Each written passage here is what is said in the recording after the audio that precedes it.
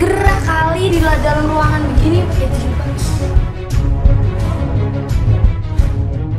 ya emang nyatanya cuma Islam kan yang nyuruh perempuan yang pakai jilbab? Lu tau nggak kenapa mutiara itu harganya mahal? Enggak. Karena buat mendapatkannya, kita harus menyelam ke samudra yang dalam. Dan mutiara tersebut juga ditutupin sama cangkang yang kuat. Makanya nggak semua orang bisa mendapatkannya. sekarang gini deh. Kalau pertanyaan gue balik apa aja yang dilarang? Lo belum jawab pertanyaan gue tadi. Nih gini, Islam itu nggak ribet. Lu pakai jilbab itu tuh cuma membatasi doang, bukan melarang semuanya. Lagian kata siapa?